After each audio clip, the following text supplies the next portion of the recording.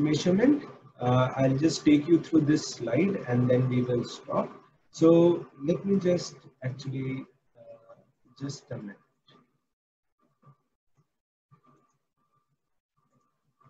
Yeah. Okay. So this dark line, okay, this this dotted line is the actual is the actual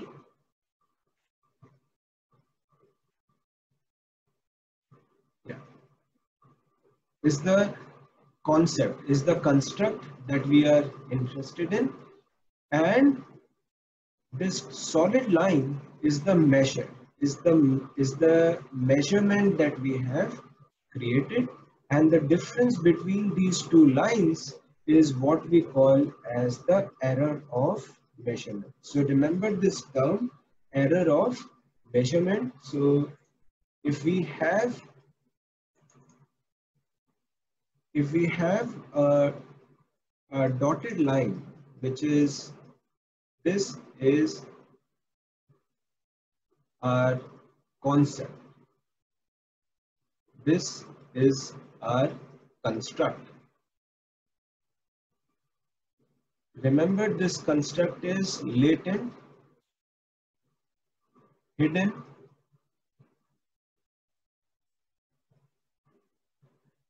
what we have based on this concept we are trying to now create a measure. This is the instrument that we have created.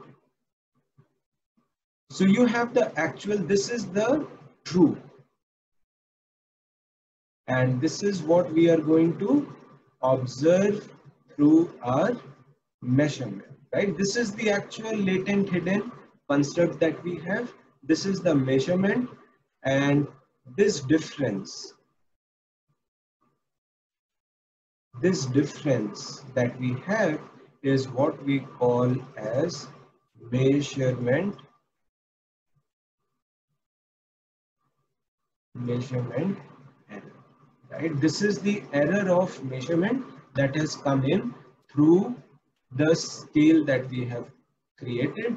And all our efforts, all efforts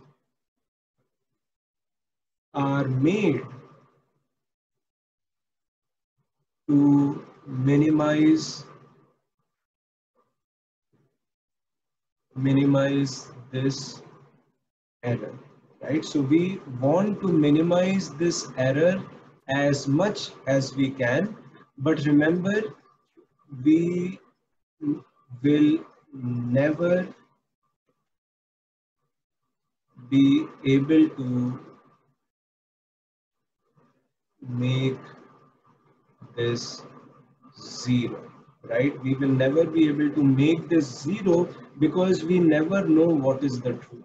You can only make this come or actually exactly replicate this line, but you don't know what this true is. So you mean actually we say therefore in, in psychometrics, in measurement, in confirmatory analysis, or in generally in psychometrics, we say that we can make efforts to minimize this, but we may never be able to make this zero because we don't know what the true concept is, what the true construct right? So that is where the the whole idea of measurement is, right? So so uh, let me take a pause.